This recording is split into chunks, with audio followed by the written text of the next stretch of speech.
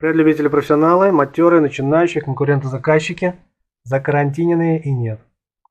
На улице зима, потихонечку падает снег, и я, как в детстве, сижу возле окошка и немножко грущу.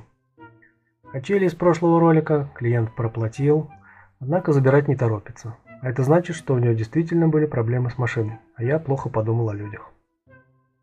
Чтоб совсем не грустить, перебираю вещи, которые подарил мне земляной дед под конец закрытия сезона.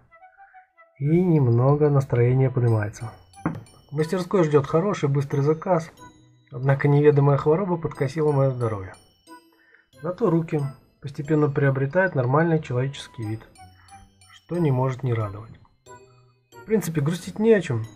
Машина сделана, качели проданы. Поэтому все, о чем я прошу, ребят, поддержите морально, посмотрите ролик.